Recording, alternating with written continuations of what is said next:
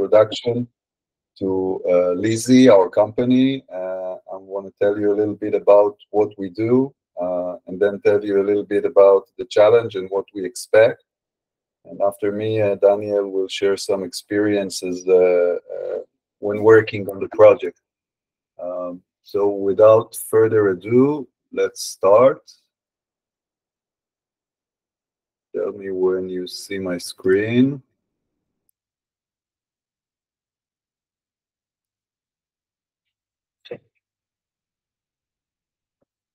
Okay, can you see my screen?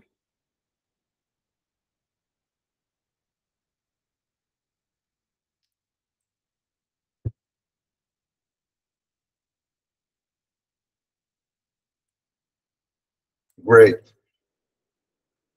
So we are Lizzie.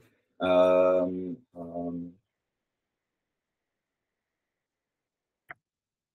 we are Lizzie, um, um, a Gen AI Israeli startup.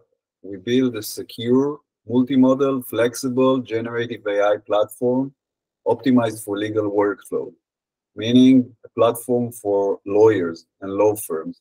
Um, we build uh, a platform that is aiming at being the one place where law firms and lawyers and legal teams will use all their generative AI work with respect to legal. There's a bunch of legal workflows that needs optimization, and that's uh, um, our expertise. Um, we have a, a, a, team of eight people.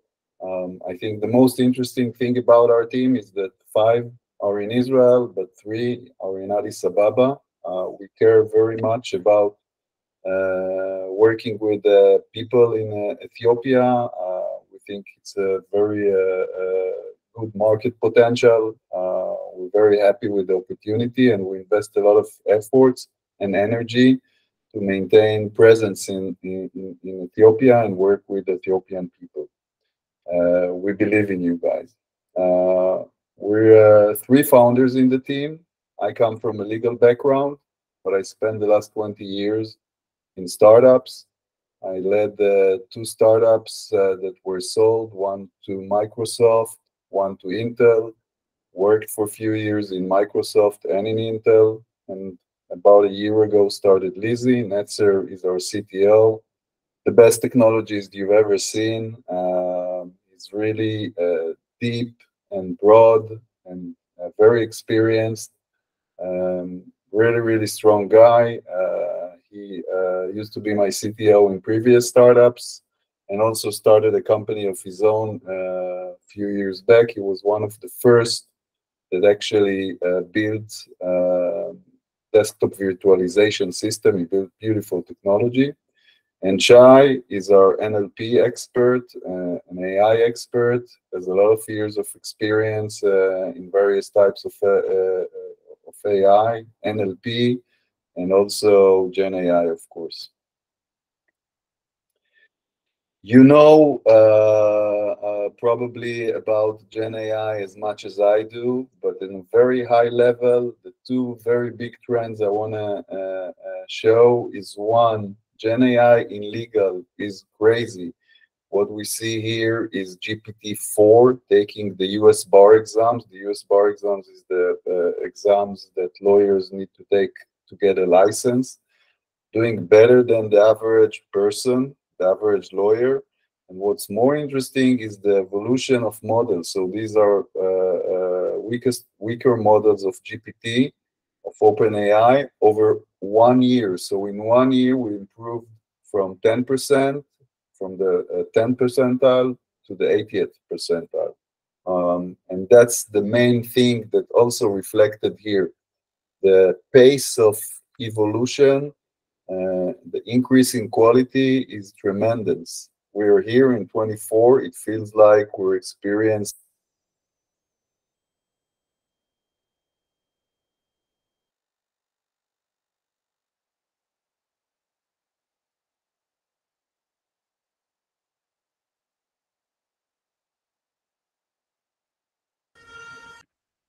that my connection or? Mm, I don't think so. also start on my side.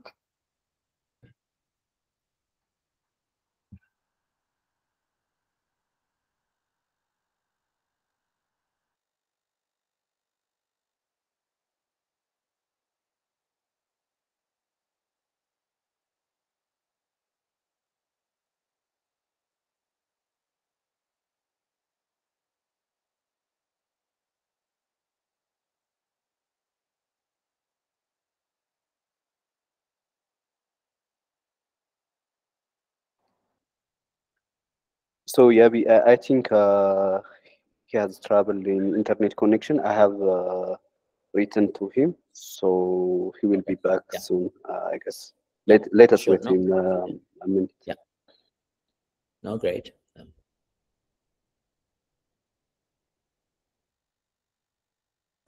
normally it happens from our side more than, and when it happens Hmm.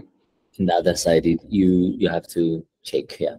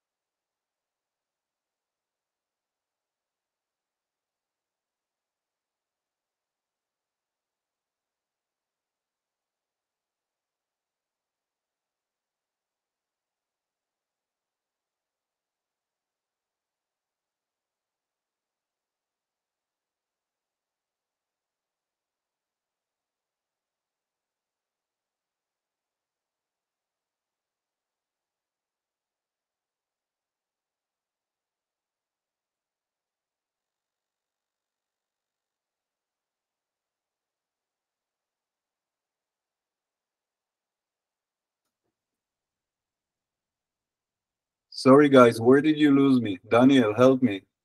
How much time ago was that? Uh, it was around uh, two minutes ago, I guess. Uh, Sorry, guys. think, and when you were showing the LLM uh, yeah. uh, scaling, like for the US bar exam, Okay, On the bar graphs. let me get back to this. Um, so, uh, did you uh, did you hear what I have to say on this slide? I think so. Uh, so I think yeah, uh, okay. we we heard about the evolution. Cool. Um, so um, um, we build a platform that works with web experience like ChatGPT and with uh, client experience, which is integrated with Word documents. Lawyers work a lot with uh, Word documents. Uh, this is like a co-pilot experience, and we focus on legal workflows. Um, we provide a secure platform, a multi-model platform, and focus again on legal workflows. What are legal workflows?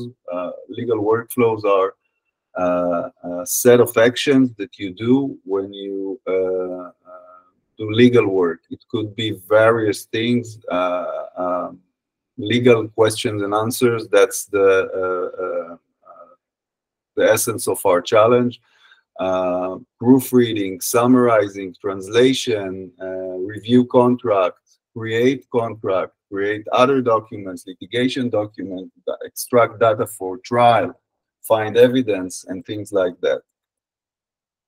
Uh, there's a lot of uh, action in the legal space. Um, um, there's a lot of business. Um, uh, there's a lot of competition. So here you see uh, the space with uh, uh, the y axis is, is LLM generative AI versus legacy AI, and the X is less flexible versus more flexible. These are the main names that compete in the industry, and the way we differentiate ourselves is that we build a platform. There's a lot of law firms that are building a homegrown solutions um, these guys are providing very closed systems. we try to build a platform that will be more flexible, that will be much cheaper to build than to build this one, but can be flexible. They can use whatever model they want. They can implement their own workflow very easily. And that's our main edge.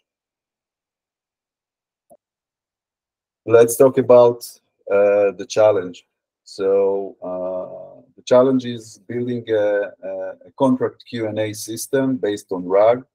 Um, what is uh, the contract Q&A that we envision or that we're building? Um, it's a system that enables you to ask anything about a contract, either to upload a contract. This is what you see here is a client that sits on top of Word, but you can also upload it into a web chat. I will show you in a second. It's supported by web and the Word add-in.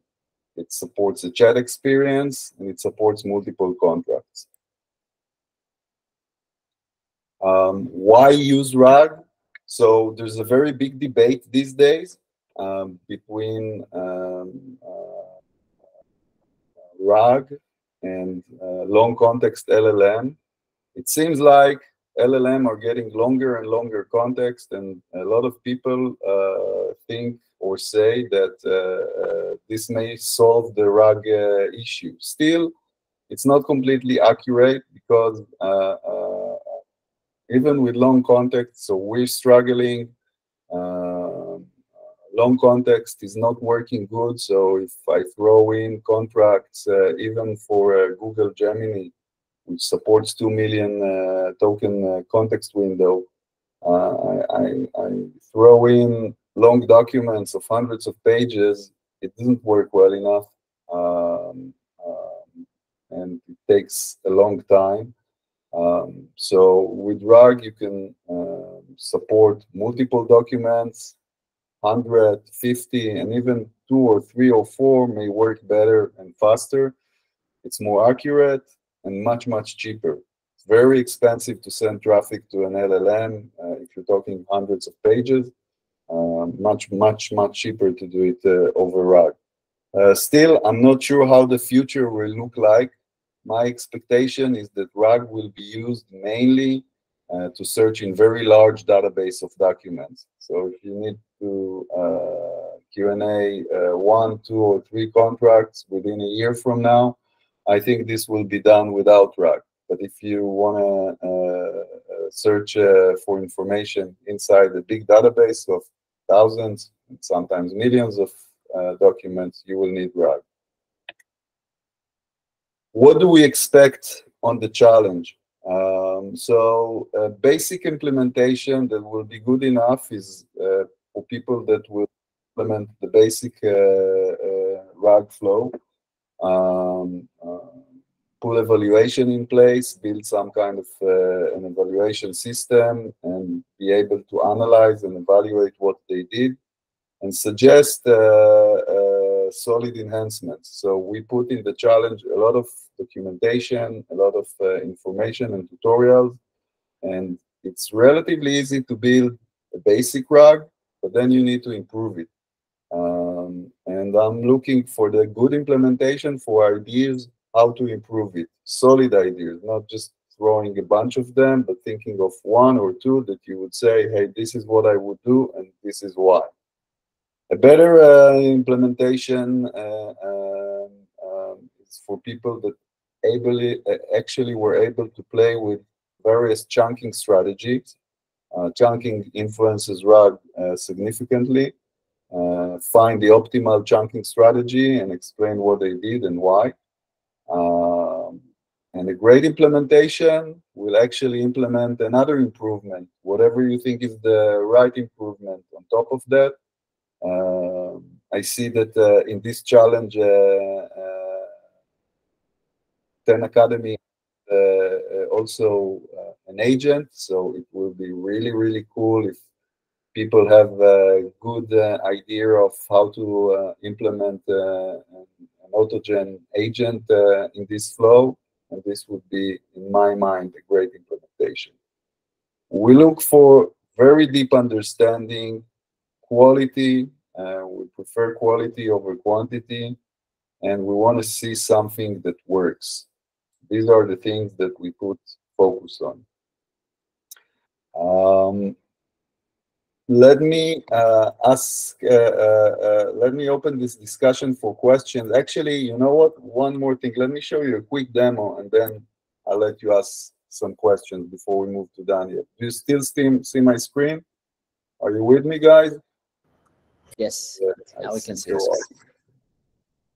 So this is uh, Lizzie, the web version. Um, let's uh, uh, throw in a document, a contract, um, and ask it a question.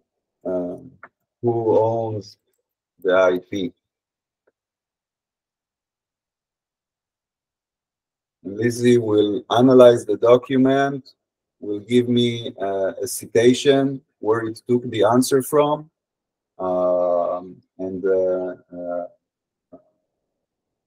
and, and show me the result inside the document. Let me ask a different question uh, that will uh, show it better.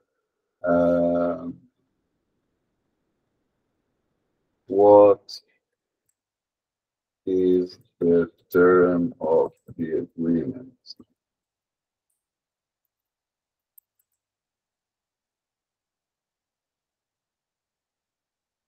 So it analyzed, fetched the term of the agreement. If I click here, it shows me where it is inside the contract. Um, so I can verify that's one of the advantages of RAG that you fetch in uh, information and you can show where you found the relevant information. Now I'm happy to uh, open this for questions. Any questions, guys and girls?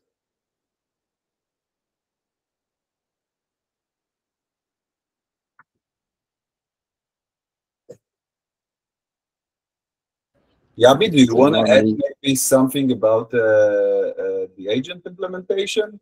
Or uh, would you Um, have it correctly? I mean, yeah, I, I think it's the the key component, of course, is I mean, we introduced it as part of one of the additions. Like you know, in in the previous challenge, we had like add-ons like that they can improve, and this is just as one suggestion.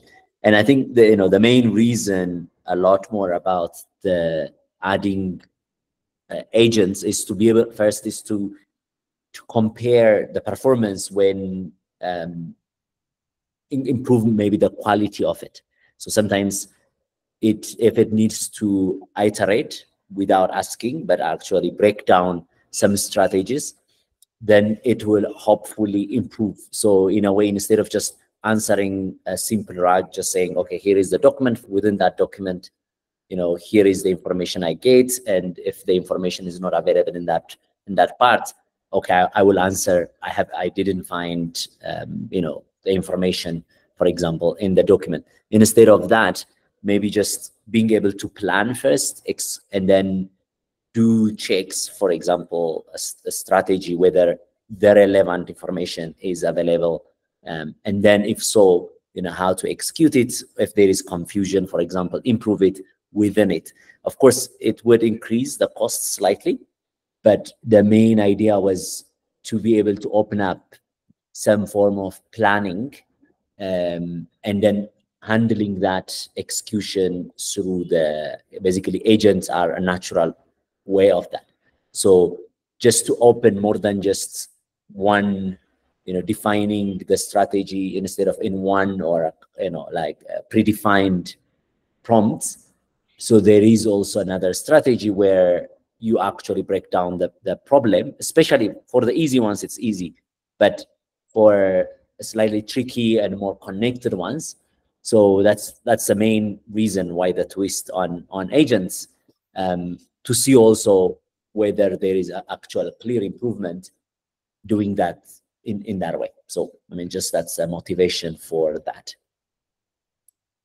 Okay, um, if if I, I I don't think it's gonna be uh, very easy to uh, add an effective agent flow to the Q and A flow with this uh, uh, structure that we have because um, Yes. it, may, it may be very effective if you are you know searching the web and you can have an agent that will run and search uh, in various places. Um, here, to do something nice, you probably need to think of something more sophisticated. So I think it's challenging, but very interesting.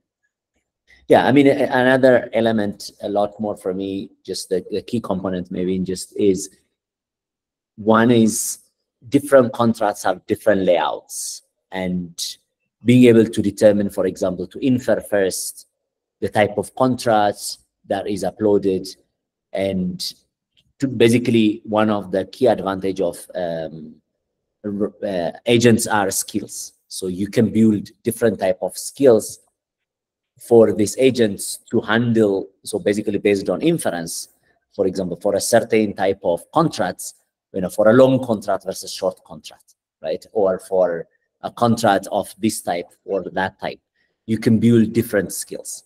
And being able to, I mean, skills basically are prompts um, um, that a worker executes, right? And and so again, of course, this is a very short time.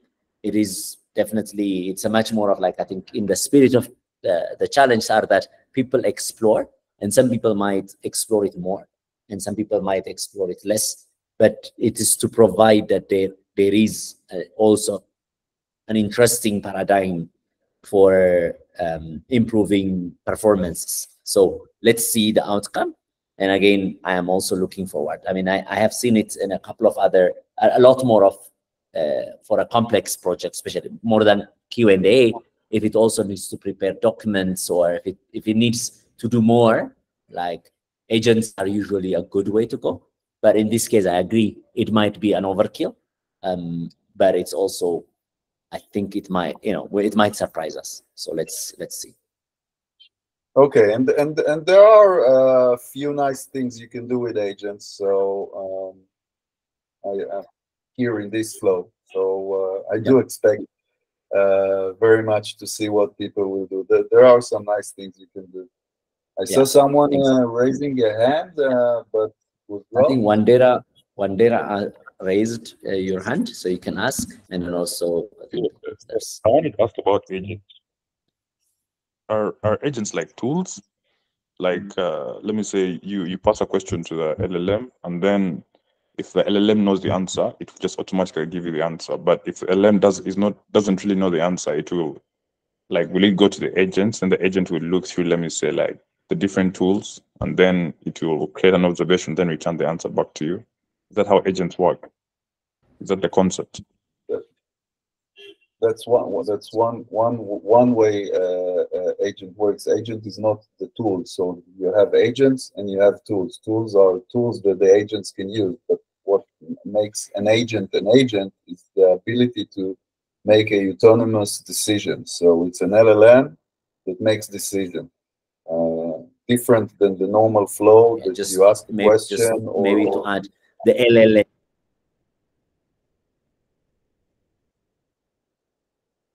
Go on, sorry. Uh, I know. So versus just giving an instruction to the LLM and getting a, a, a response from the LLM, when you're turning the LLM into an agent, you give it discretion. You say, you know, in this situation, uh, I need you to decide what to do, turn left or turn right do this or do that, use this tool or the other tool. This is what makes an LLM an agent. So the LLM is basically the agent, the engine, and then every other component is a lot more using the. It's like maybe a car analogy. I'm not sure if it really applies, but the engine supplies everything for the car, and so the LLM is like that. It become it is the engine to make this, you know, for the agents to do decisions, they still consult with the LLM and think everything is done by the LLM for every semantic decisions. But tools and codes combine to basically uh, are, it changed the architecture. So it changed the architecture that you can actually have a planner, an executor, you know, and and choose different skills that apply. So it's much more, I think, as Arnon said, the LLM is there, and you have different tools, that agents can use, but agent is architecture more um, and not just a particular tools and agents have skills. These skills usually are basically skills. When we say skills, it's type of prompts. So, but all synchronized by the engine, the LLM. Basically.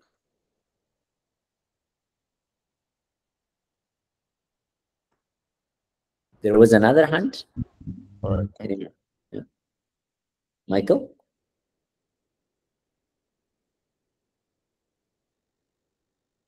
Go ahead, Michael? Michael.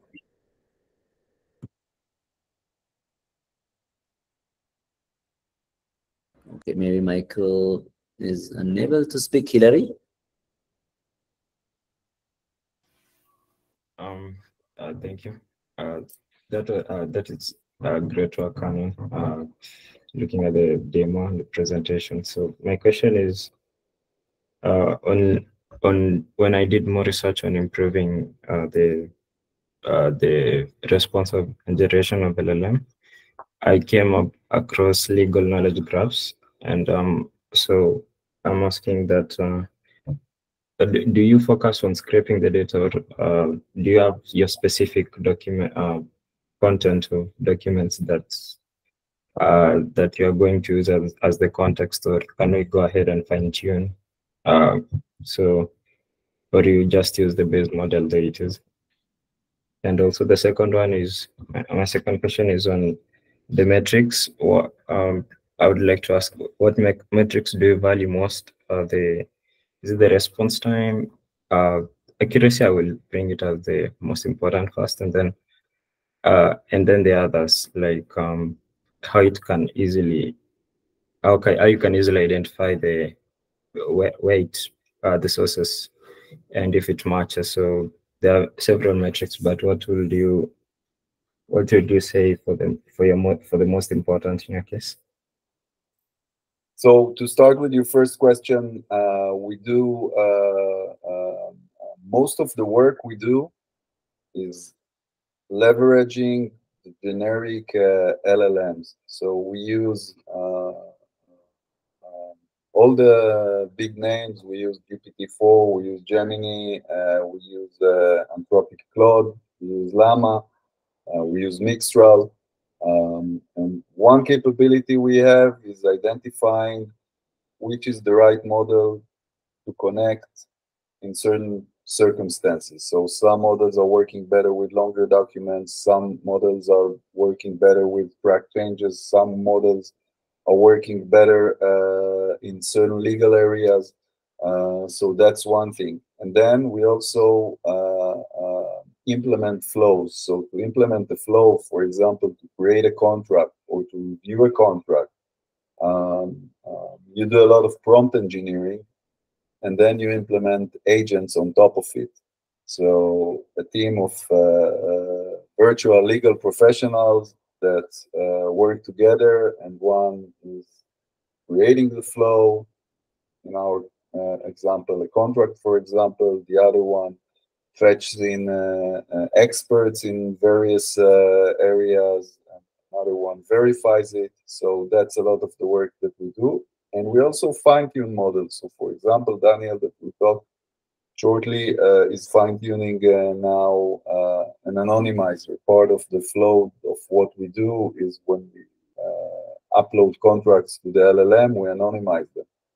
Uh, so, for example, one thing that we're working on right now is creating a lot of synthetic data with LLM to uh, train the BERDA model to anonymize the contract that we upload. Um, you asked also about the KPIs that we target. Uh, um, I think accuracy is probably the most important one. Uh, we also value speed very much. Uh, so one of the consideration uh, where to go is to the to go to the faster model on certain circus, circumstances speed and accuracy are the most important for us. Thank you.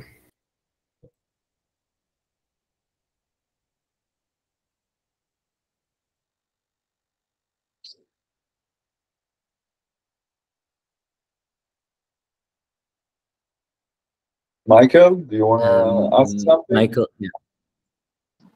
Okay, thank you. So as we saw in the, the demonstration, the Lizzie chatbot is pretty good, I think. So we have limited time, like one week. So if you give us some metrics or limitations on the chatbots that you want us to improve, thank you. So um, I think so. There's a lot of things you can improve uh, with uh, uh, with RAG, and in the documentation we've added. There's a lot of tricks and tips on a lot of things you can do.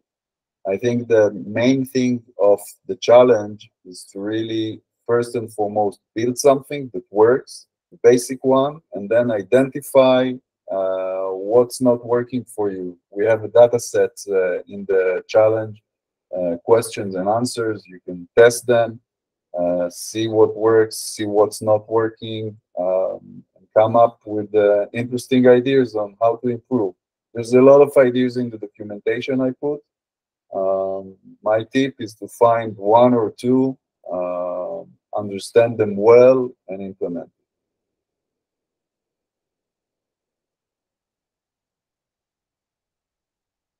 Jabez?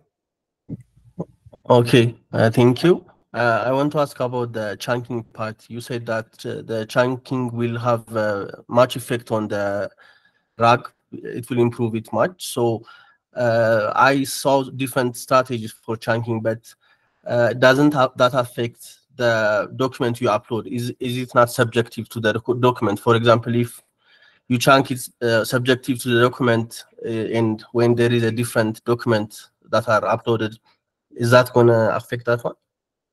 It does. So the chunking strategy has a generic component. So questions, do I use big chunks, small chunks? Do I chunk paragraphs? Do I chunk more than paragraphs? Do I chunk uh, sentences?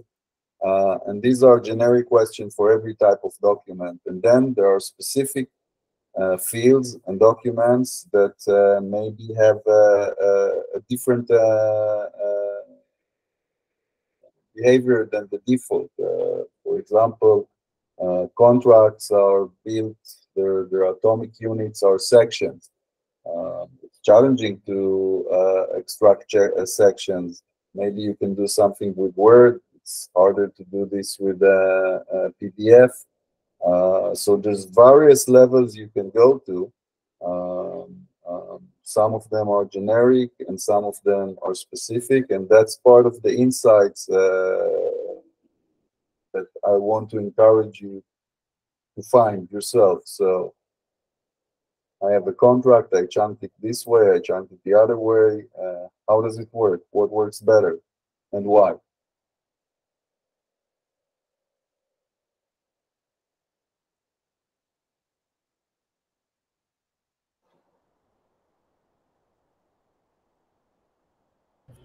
All right, Okay, shall we move to Daniel?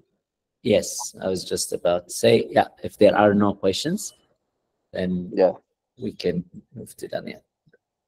Okay. Uh, so thank you, Yavi. Uh, thank you, everyone, uh, for inviting us. Ju- ju- and also, Before, just before uh, you start, Daniel, if Arnon, at any time, if you want to drop, just of course you are, you know, just uh, you can feel free just to say, um, yeah, okay, go on. No, no, I'll, I'll, I'll stay with you. Fantastic. okay. We would, we'd be happy.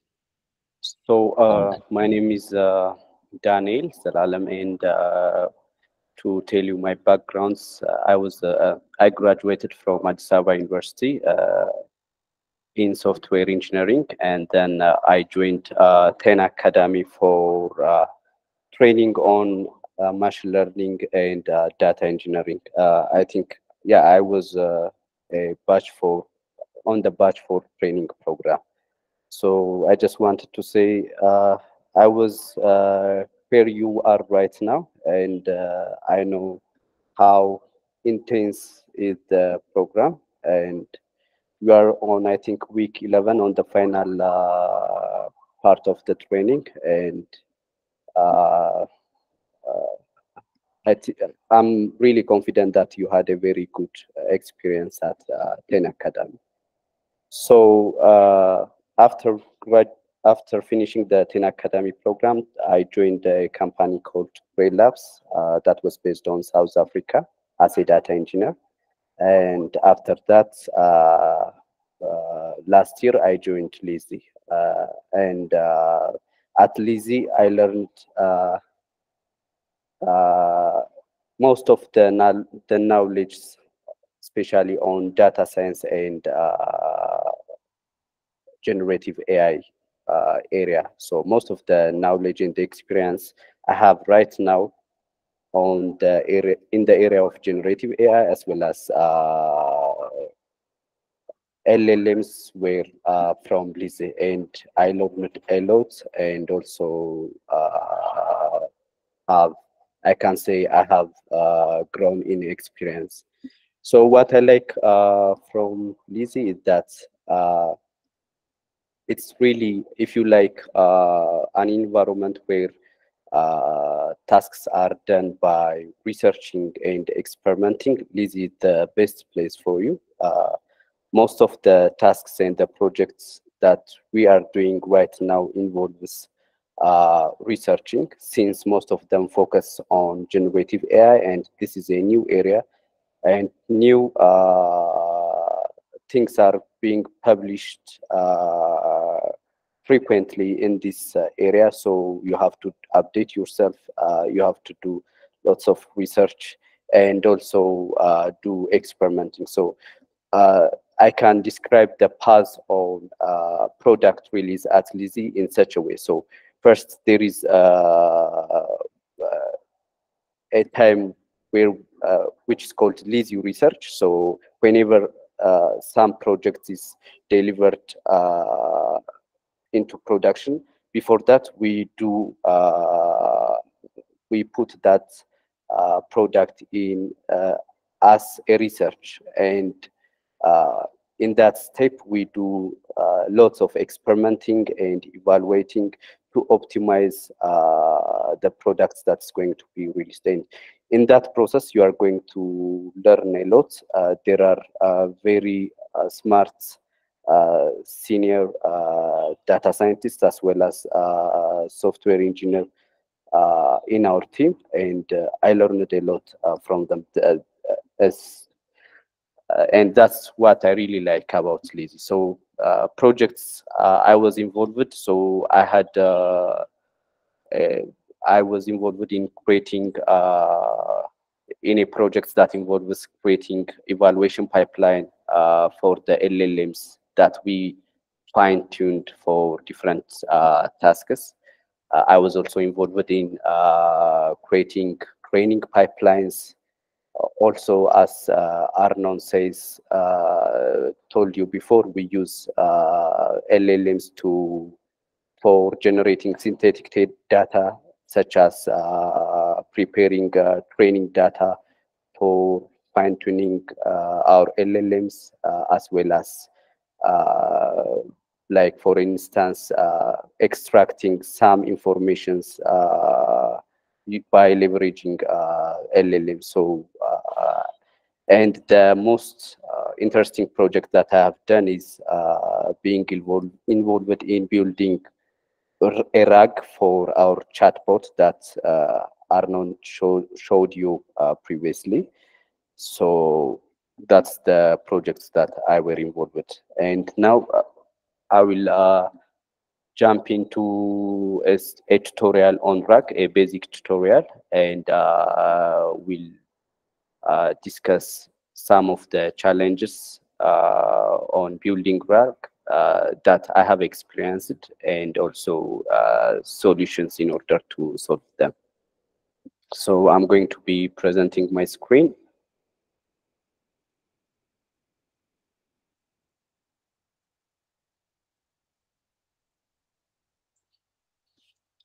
So you can see my screen, right? Yeah, we can see your screen. Okay. So uh, let us start by introduction to RAG. Uh, so why do we need RAG?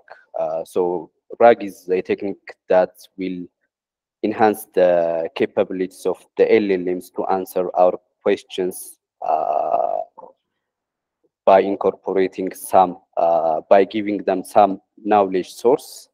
And this is done by first retrieving uh, the necessary documents that are relevant to answer a question and uh, providing those as a context to the LLMs.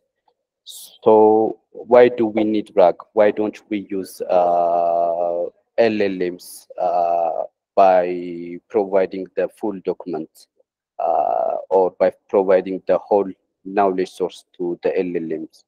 Or why don't we use, uh, why don't we fine tune uh, an LLM for our specific use case and use that?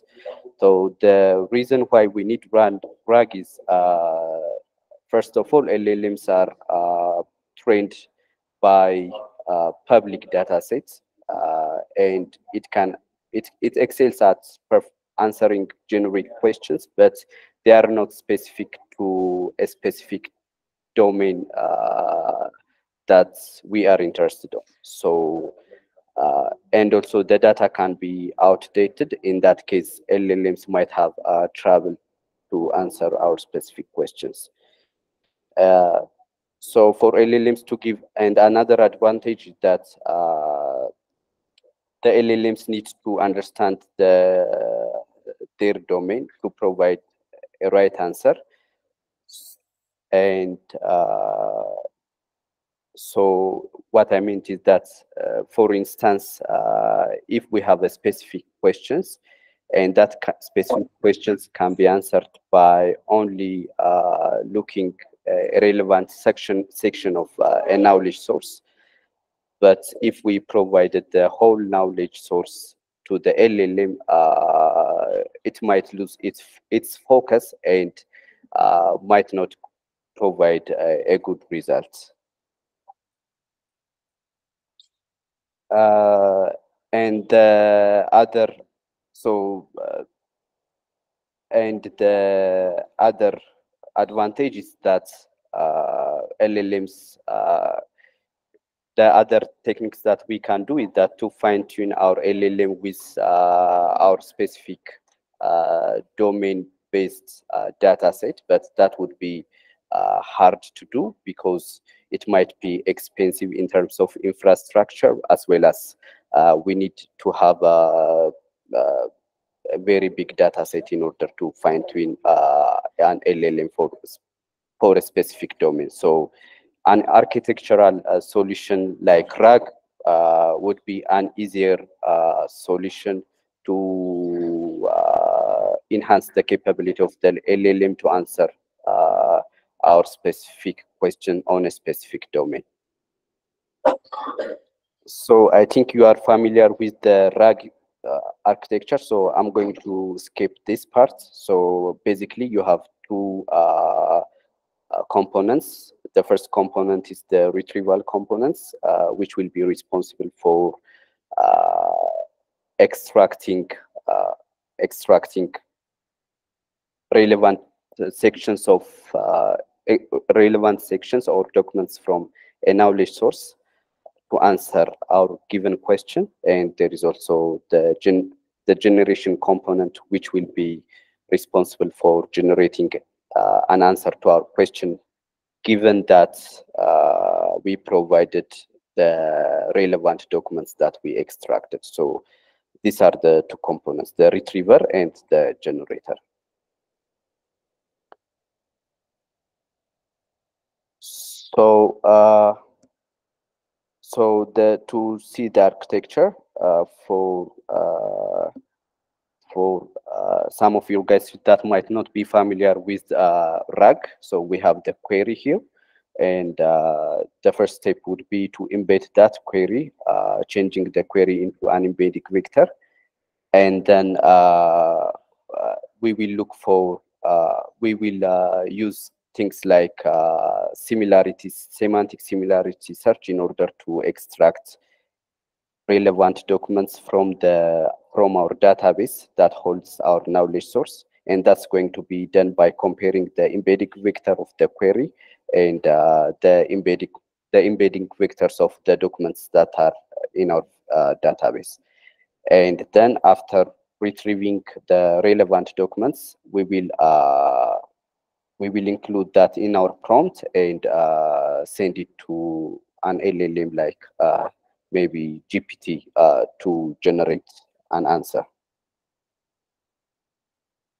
Okay.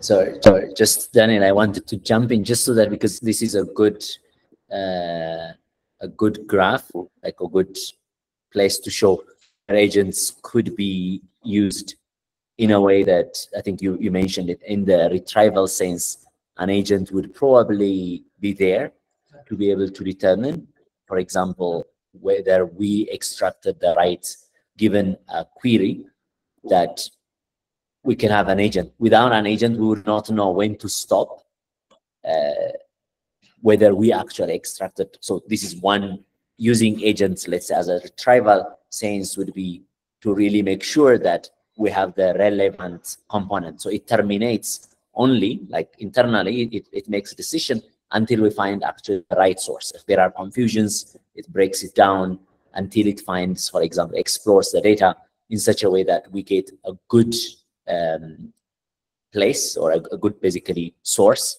and in the way that we want it. So format it also the, the, the extracted component in a, in a format that we want. So that's where, for example, one use of agent there, just as, as a retrieval, so retrieval agent. And then you also mentioned about the generation. I think there you could also go and again, another agent would make sure with a skill of like answering or understanding users' intents and questions, and now having a clear uh, document or a clear uh, context now will also answer it or format it with by conversing with the LLM to get the right um, answer or the, the right generation. And just I thought this is a good place to to contextualize, you know, okay. uh, how you could you, you could have different two agents, for example, that ensure this is mostly useful maybe for a high stake Q&A, like where you really need to get it and you need to estimate actually even the accuracy um, and uh, you know provide for example if it's a very sensitive thing you probably could could replace both the retrieval and the generation with RAG just yeah but yeah, yeah. proceed I think, uh, yeah, uh, that's really an interesting use of uh, agents uh, in this architecture. Uh, I'm not sure. Uh, also, like Yabi said, maybe having an agent that can review and validate the answer that was generated by the generator agent, maybe, and improving the quality of the answer might be also a use case, uh, I think, right? If we have uh, different agents, one agent might be reviewing an answer, or it can also, uh, if we have multiple generator agents, one, and it can compare the generated answers from multiple sources and also uh, come up with uh, a very good answer. That might be also another use case. Uh, Absolutely. I, I don't. I, mean, have, yeah. I think that's a good case for sensitive and when you really need to get it yeah. correctly. And um, you know, of course, the cost increases, but yeah, for certain purposes, this might be okay. Great.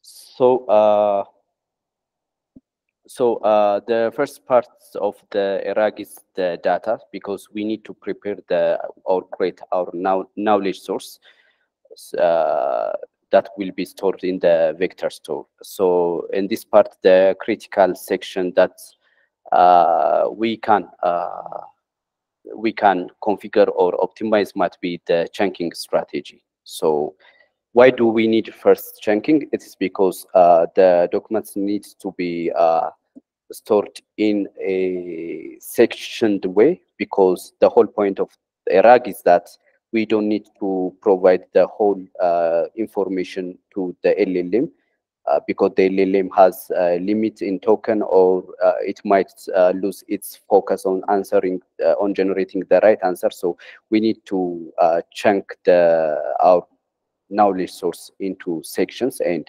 provide it and store it in the vector store. So that's why we need chunking and uh, we can have a small size chunks or long uh, size, uh, long chunk sizes. So if we use a small chunk sizes, uh, it might it will lead to an accurate retrieval, uh, but not it might not provide the full context to the LLM because uh, the chunks might be short. For instance, if we chunk in sentence level chunking, then uh, we might we sometimes we might lose uh, we might uh, not give the whole the all the context that are needed to answer the question to the LLM.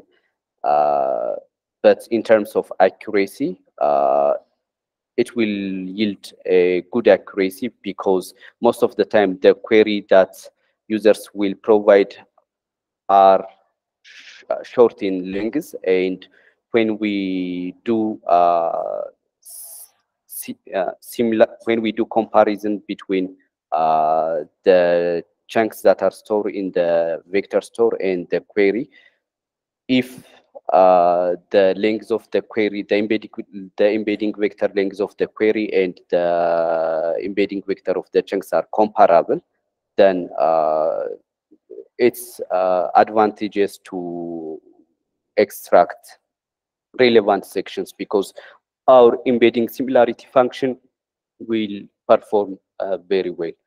But uh, for long size chunk sizes, uh, they provide much better context to the LLM, but uh, the retrieval step that's based on the similarity search might not be accurate because we have a uh, usually short size uh, query queries and if our chunks are very long, the similarity search might not be accurate. And also there might be noises or unwanted informations that are that will be sent to the LLM. So the question is, where can we compromise the two advantage? And from my experience, what we did on Lizzie is that we uh, we try we tested different chunking configuration and we did an experiment. So, uh, so what I would suggest for you is it might not uh, be convenient in terms of uh, the time that you have to deliver the project, but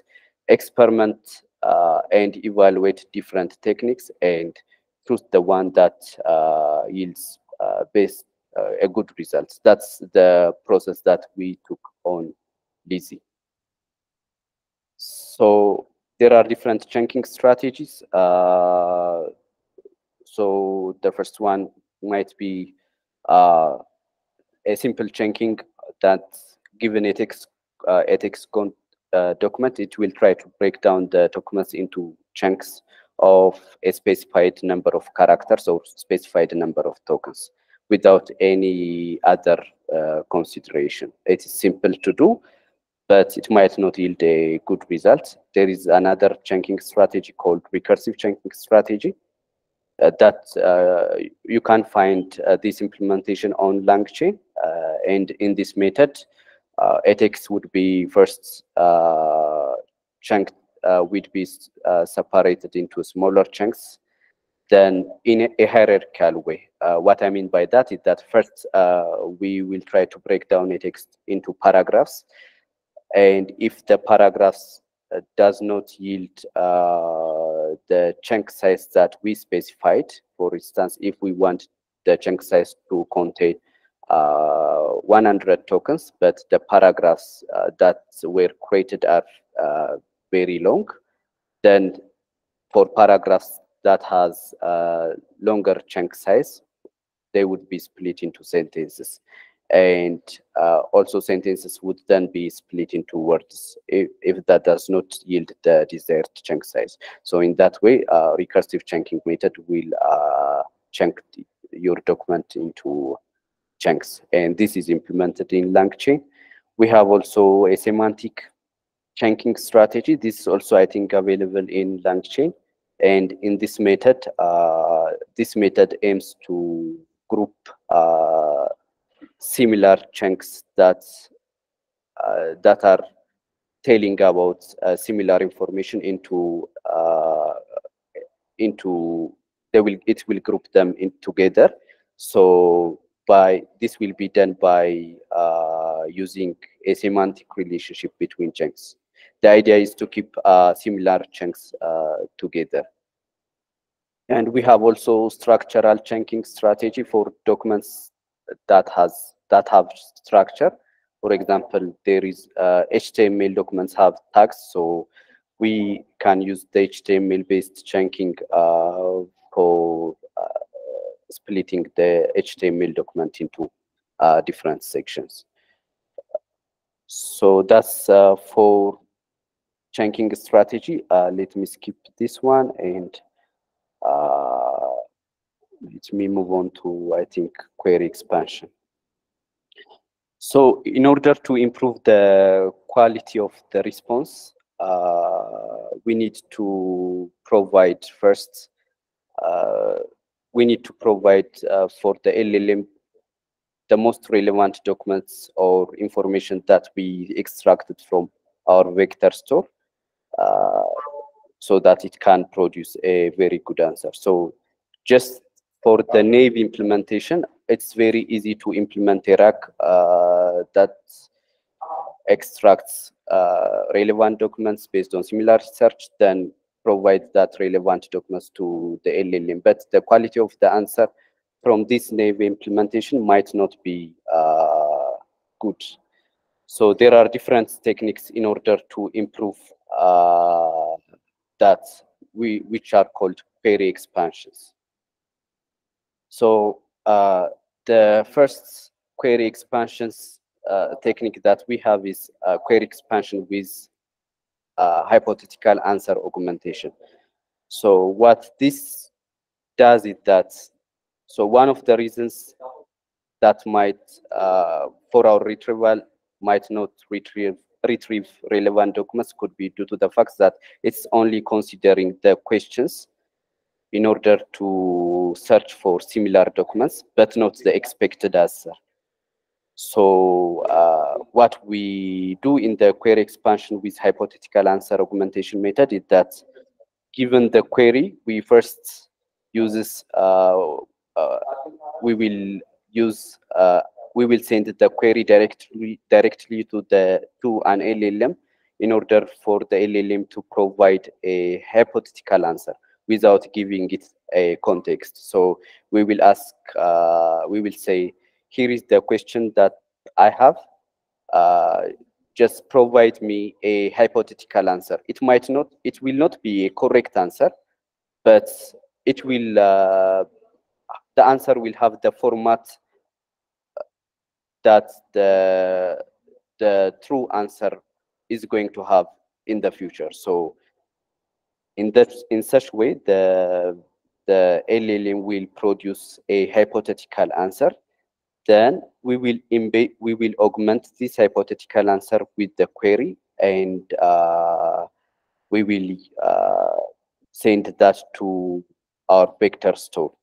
So so that we to search relevant documents from the vector store. So in this way, the similarity the similarity search that is based on the semantic uh, comparison is going to is going to consider the expected answer, the format of the expected answer, as well as the original question in order to really to retrieve relevant documents. So by this way, we can enhance the, we can increase the confidence that we have in order, uh, in that we have so that uh, the relevant documents that are necessary to answer will be extracted.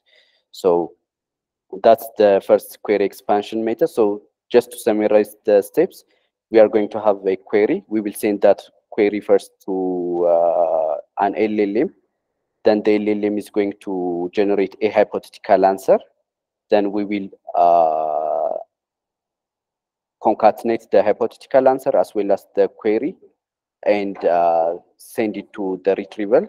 Then relevant documents are going to be uh, uh returned from the retriever. Then we will send the relevant documents and the query to the actual uh, LLM that will be responsible for generating the answer.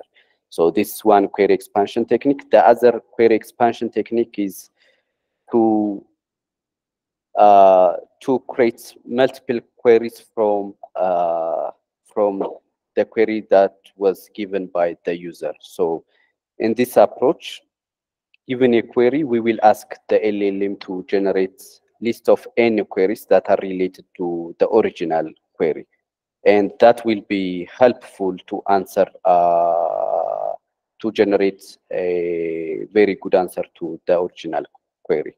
The goal here is to retrieve different topics that are important for answering our questions. So in this case, we are we have uh, a query that was provided by the user, and we will create by using an LLM. We will create uh, new queries, new questions that are related to this question, uh, and uh, that might uh, touch different topics uh, that will help the LLM to answer to generate uh, the right answer. So in this case, we have to make sure that the additional queries that are generated are not just a rephrasing of the original query, rather they must be asking the different uh, different questions that are related to the original question. So it will touch uh, the additional question should touch uh, topics that are related to the original query, but it might it should not be a simple rephrase rephrase of the original query. So that's the other technique that we have. And uh, we have also other techniques, uh, like for instance, uh, we might uh, we might split a question into different subqueries. So given a query, we we we might uh, use an LLM to uh, generate a subqueries uh, from the query. This will be helpful for cases like if the question is very long and complicated, we will uh, we will split it into uh, simple subqueries, and for each subquery, we will uh, try to retrieve documents and uh, then we will combine those documents, uh, select uh, the most appropriate documents to answer our question and send that to LLM. That's not presented in the slide, but we can use also this technique.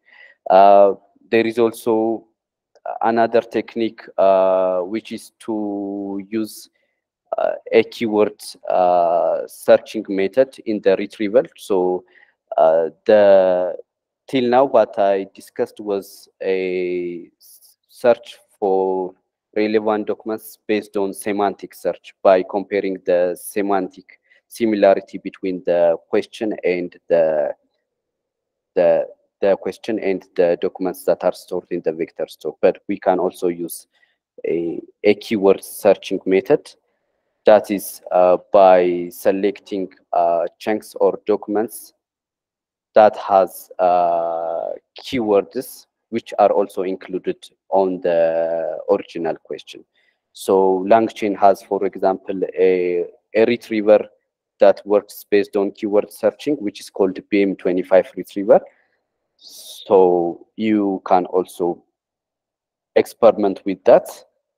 So uh, from my experience in Lizzie, uh, we have uh, what we did is that we tested each uh, query expansion techniques. So we created uh, retrievers uh, that implements the different query expansion techniques and we try to evaluate them in order to uh, select the best retriever. So we also try to combine different retrievers. For example, one retriever might use uh, a a query expansion based on hypothetical answer augmentation. Another retriever might use uh, a keyword searching method, and another uh, expand uh, another retriever might might use uh, mul multiple query expansion method, then try to combine them in an ensemble way and uh, so that uh, we will have uh, more probability to fetch or extract relevant documents. This will be useful for cases like, for example, some uh, questions in order to retrieve documents for some certain type of questions, keyword searching method might be uh, very good. But for other type of questions, maybe uh, a simple semantic search uh, retrieving method might be useful. So in combining uh, different retrievers, retrievers in a hybrid way, uh, we are going to uh, increase our chance of getting uh, getting all the relevant documents that are necessary uh, to answer a question. The precisions, the noise or the precision might be uh, might be lower because if we are using multiple re retrievers in a hybrid way, uh, the number of documents that are going to be uh, extracted from the vector store is going to be uh, very large and it might uh, we we might have uh, noises but there is a way to re-rank them and select the top k relevant documents uh, from list of documents that are selected uh, by our hybrid retriever. So this way it can you can increase the quality of the the quality of the RAG. So what I would suggest is to experiment and evaluate uh, different techniques and select the one that works for you. Uh, in terms of time, uh, when you use uh, multiple retrievers as well as uh, query expansion techniques that involves uh, calls to an LLM, the time to to respond might uh, might be slow.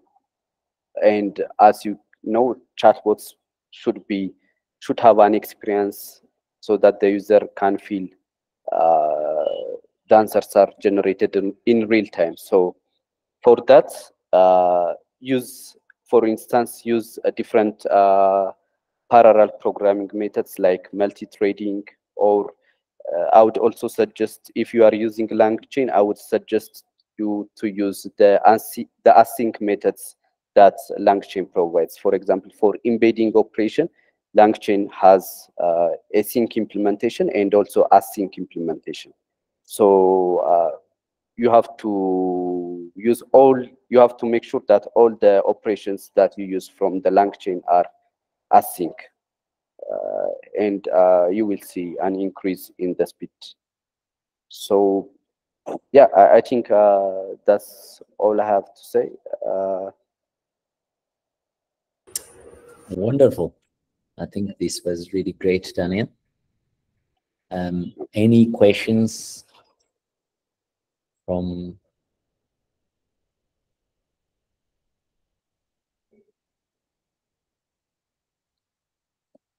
I, th I think you have shared already the slides, right? So, yeah, yeah, yeah. yeah. Okay. Yeah, uh, Abu Bakr.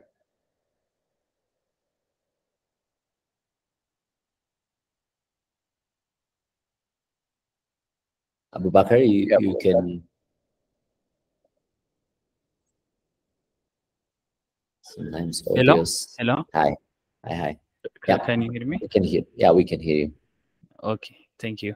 Uh, thank you for uh, the tutorial. Yeah.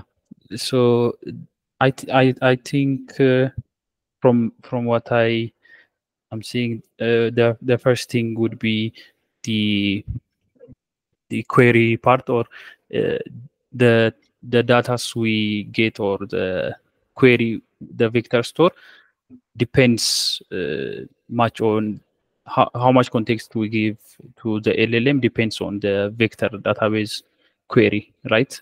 So so like there are different types of uh, asking the vector store so from Lizzie ai what what did you guys implement and why from the uh, query transformation part. Yeah. Okay, so uh, I'm not uh, quite sure if your question was related to the operations that is responsible for searching relevant documents, uh, meaning uh, the operations that we selected for uh, the comparison between the query and the documents, or are you ask, asking the query expansion techniques? Uh, uh, so just to answer the two of them, uh, so uh, it, for computing uh, the or for comparing the que the question and the chunks, uh, I think we are using cosine similarity. there are also other similarity operations for uh, semantic search, but most of them has uh, similar result, results. So uh, I think you are go good to go with cosine similarity, cosine similarity operation and you don't have to worry that much on uh, on that because most of the similarity function uh, have the have similar results. But for the type of retriever that we use at Lizzie, uh, as I told you before, uh, we combined uh, multiple retrievers. So we have uh, a keyword search retriever, uh, which is based on uh, BM25, I guess, and also we have retrie retrievers retrievers that implements uh, uh, different que query expansion techniques that uh, I described earlier. So I would suggest for you also to try to uh, experiment on those uh, by uh, combining different by first by creating retrievers that implements different query expansion techniques and then uh, try to combine those uh, retrievers and evaluate your RAG, then select the one that best works for you. Uh, so uh, instead of just uh, telling what we are using at Lizzie, I just wanted for you to also experiment on that and uh, select the best combination. That's why. Hello. Okay. Uh, okay. Sh shall I add onto that question? Yeah, yeah, yeah, yeah. Yeah, you can add. Okay. So uh, I'm a little bit uh, uh, being ambiguous or confused on uh, what you mean by query expansion expansion yeah expansion okay. and the difference between query expansion and query translation from from what i what i'm seeing or what i know previously is that there is the first step is like query translation. So there is different types of query translations like HyDE or uh, RAG fusion or something. So do you mean that or are those different things? Or and if these are different like can we implement them on yeah, yeah. so so those are also uh, so that's a term confusion i think. So those are also uh, query expansion techniques. That means okay you can call it query transformation uh, converting your your query to another query that might be done by uh, expanding the query uh, by generating multiple question or by augmenting hypo, uh, hypothetical answer or by using different techniques. The main idea is to transform your query to another query. So the, uh, the, the techniques that you also mentioned uh, serves the also the same function. So you just use the techniques that you know and uh, evaluate them and try uh, to select uh, the one that works best for you. And I would suggest also to combine different retrievers uh, that implements uh, different techniques and uh, see the result. Uh, so sorry to add on to that. So can we? Um, I'm thinking of like, uh, can we implement those translation or one or two of those translation in a single, for example, in our challenge only to implement two of them, or can we just augment two of them? So, Okay. so for instance, in LangChain, uh, there is a retriever called ensemble. So the ensemble retriever can accept multiple uh, retrievers. So, uh, for instance, one retriever might uh, implement uh, one enhancing query transformation technique. Another retriever might use uh, an, another query expansion technique. Then you are going to have two re- retrievers and you will uh, combine them in an ensemble retriever. And in, su- in such way, uh, you will see a combined result. Uh, did I answer your question or, or did I confuse you more? Oh, no, uh, it's it's really great. Uh, sorry about that. Uh, yeah. So my my other uh, question adding onto that would be uh, like for embedding part. I I, I think maybe I missed uh, some of the some of your presentation. I apologize for that. So about the embedding part. So it there are different types of embedding. I know I have we have to experiment and we we will do that. So I'm um actually ha I have a question on the types of embedding. For example, if the embedding is much more curated for the data we have, there is a saying that uh, we can actually have a, a, a good uh, retrieval. So what's your take on that? I think maybe a little bit expand on that.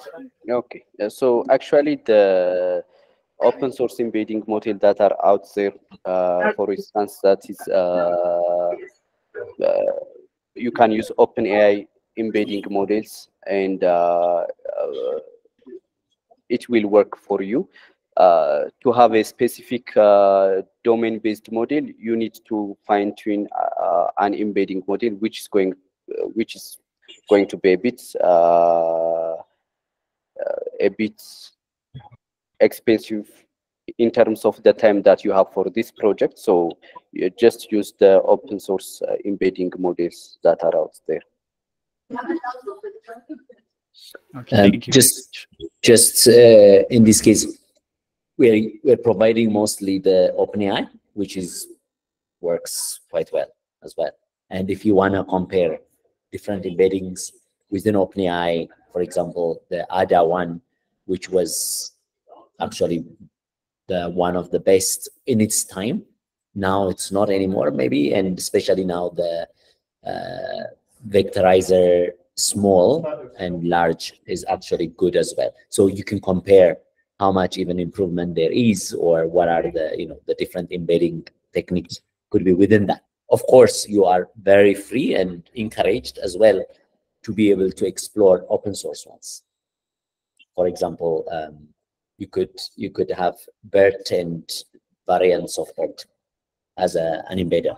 So just some of them they might not off the shelf they might not support sentence transformation so you have to do some i mean i think dbert or uh, like that you you could use them sentence transformation or sentence embedding but in general yes that's what we provide just to, to make it easy and also to experiment with the state of the art uh, embedders are the ones OpenAI, but feel free to experiment with others. Actually encouraged. So it's more to yeah. Actually, when I say also open AI, uh, open source, I meant to say embedding models that uh, are provided by uh, uh, by services like OpenAI. Uh, so uh, the Open AI embedding models, as Yabi said, will work well for you. so uh, sorry uh, on the vector search part i, th- I think you mentioned you're using you guys are using BM25 or other did i mis- misheard that So the BM25 is a keyword uh, yeah retriever. So yeah, we also included that. Uh, so uh, I would say uh, for you also to test that or uh, to check that. Okay. Okay. Thank so Ju- Just maybe, maybe to add, if you are using, you know, some of the vector databases like, for example, a Weaviate and, and and others, you'll be able to just do this very, like, they provide that quickly, right? So you don't have to implement much. You could just basically, once you get the data in Wave Weaviate, for example, you'll be able to have hybrid, uh, dense, and uh, as well as just keyword. So by keyword, just totally keyword or a combination of keyword and uh, vector or vector. So I think as I explained last time, vector just only, vector search is only dense, vector plus keyword is uh, hybrid, and keyword is called sparse. So just, uh, how about BM25 uh, it's just That's uh, keyword. that's keyword keyword. So BM25 or variants of it, there are many. It's everything that is just, they're all built out of TF IDF type of, uh, I mean, keyword search with some weights. okay okay i had a confusion between keyword and BM25 that's why No, it's all of them are similar. Yeah, it's like just I. That's why it's sometimes for um, you can use words like sparse, hybrid, or uh, dense.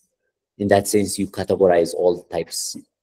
So without and most of the everything that that doesn't involve vector is called keyword, and everything that involves totally kew- vectors is just a dense, and a combination is uh, hybrid. Okay, so uh, you mentioned Revit. I I haven't heard of it. Weaviate, Can you can you spell it out for us? Yeah. Re- Revit. Wave. So I mean, I, I am, Okay, I, I Wave typed it. eight. Oh, okay. Thank you. But you can use it in any in all of the vector databases. You can get them. So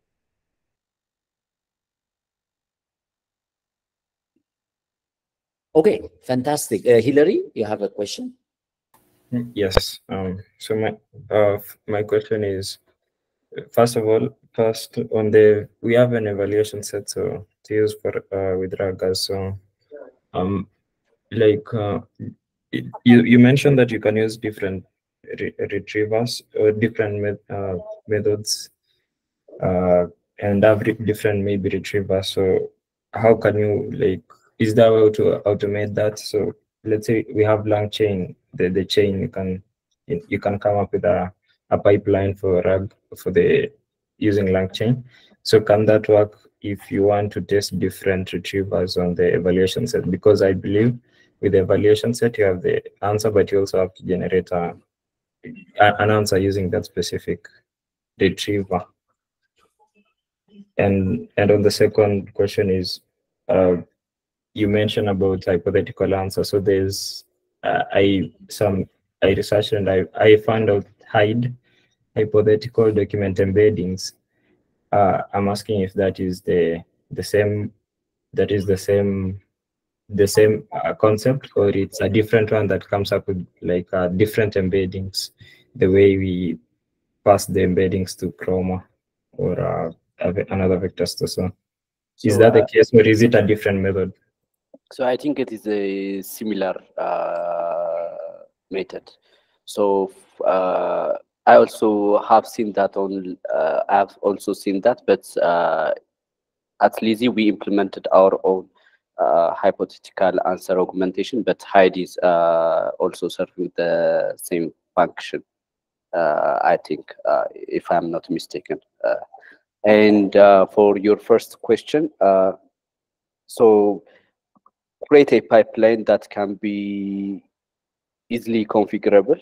So, for instance, uh, your pipeline might accept uh, the type of retrievers that it will use or the type of chunking strategies it will use you, and then uh, automate that so that uh, you can test uh, the different configuration of your RAG. For instance, one uh, might use some specific chunk strategy, another RAG might use another specific chunk strategy, and then uh, use RAGAS uh, to evaluate uh, those RAGs. And then the idea is, the main goal is to for you to to select or for you to choose uh, the best track. So that will uh, that will generate a very good quality answer. That's the idea behind evaluating your RAG and also uh, testing uh, different chunk strategies or different query transformation technique. The main goal is for you to have uh, a good quality answer being generated. And in the data set, there is a question and the ground truth answer. Uh, you also have, uh, you are going also to have the answer that's generated by the RAG as well as the contexts, meaning the retrieved documents uh, from the retriever. So using those uh, items, you can use maybe RAGAS or any other uh, RAG evaluation uh, techniques in order to evaluate your RAG and select the best that one works for you. But keep in mind that the main goal of this process is for you to select uh, uh, a very good RAG. Wonderful. Thank you, Daniel. And I think this was really in hopefully useful for everyone. Learned uh, many things, and the project is clear. And thanks to uh, Daniel and Arnon, they made it very clear and what is actually the business objective as well. So, but just before we close, Adisu has a hand, but let's make it short because we are way over time. Adisu, Am I audible? yes, you are.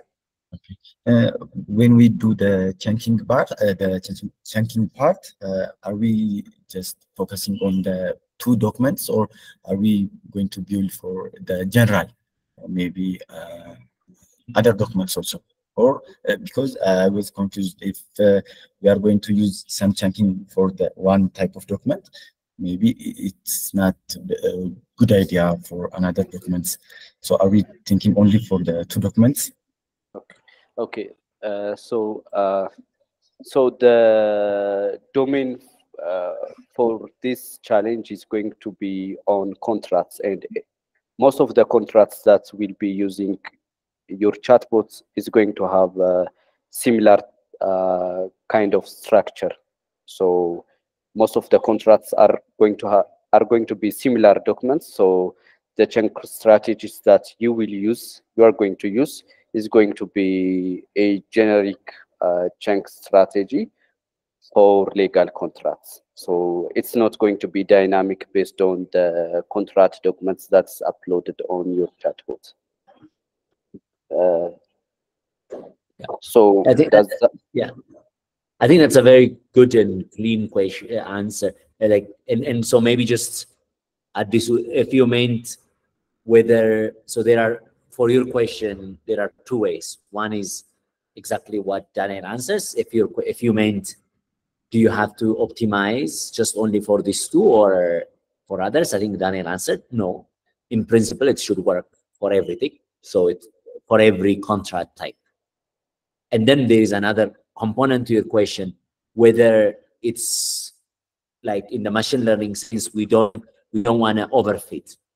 That means when we evaluate, you know, which one we use for uh, validation and which one you, we use for test. So if you meant, should we use everything one document as a validation and one document as a test, or can we use something else as a validation and then use this as a test? That's another question.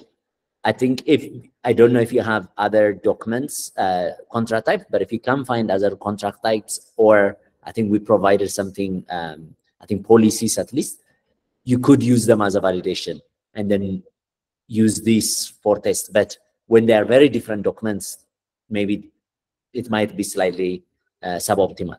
But so I don't know which which you meant. Maybe explain it so that Daniel can also add. Yeah, Did it was the first one. was- Yeah. Okay. Yes, it was the first one. Uh, Oh, Daniel answered. Uh, okay, Thank you so Fantastic. much. Okay. Fantastic. Thank you, guys. Thank you, Daniel. Thank you, everyone. It was